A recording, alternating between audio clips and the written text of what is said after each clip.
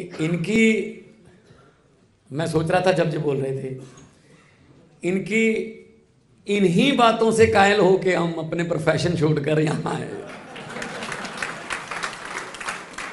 जब ये रामलीला ग्राउंड में बोलते थे, जब हर रोज एक पीसी होती थी, तब आँखें बोलती थी, दिल बोलता था, इन्हीं बातों से कायल होके हम सब लोग अपने अपने प्रोफेशंस को भी छोड़ के आए हैं।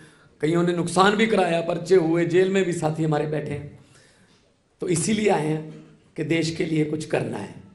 वरना पैसे कमा के दुनिया, बहुत बड़े बड़े बैंक खाते छोड़कर लोग चले जाते हैं, साथ कुछ नहीं जाता।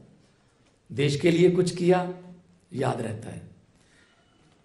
मेरा एक छोटा सा शेर है। मैं भगत सिंह को देखकर जब मैं निकलता हूँ कभी भी तो भगत सिंह जी की कहीं ना कहीं कोई ना कोई स्टैचू भी आ जाता है। आदमी बड़ा सालों से नहीं, आदमी बड़ा ख्यालों से होता है। नब्बे नब्बे साल के बुज़ुर्ग आपके पड़ोस में, आपके गाँव में बिस्तर पर पड़े होंगे, डेथ बेड पर पड़े हैं, मौत को उड़ीक रहे हैं, इंतज़ार कर रहे हैं, कोई नहीं जानता। करतार सिंह मर गया जो ज़िंदा है। अच्छा अभी मरा नहीं।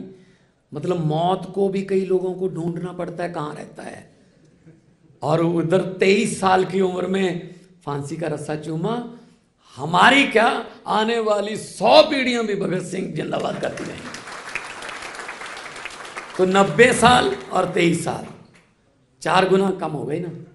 तो सालों से नहीं बड़ा होता, आदमी बड़ा ख्यालों से होता है।